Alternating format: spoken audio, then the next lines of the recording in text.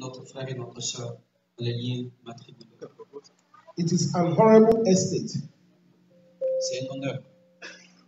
instituted of God, C'est une institution de Dieu signifying unto us the mystical union that is between Christ and his church. qui signifie en l'union entre Christ et l'Église.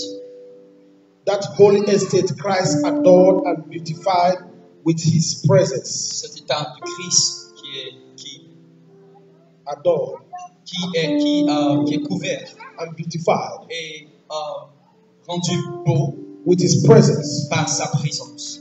And first miracle in Cana of Galilee.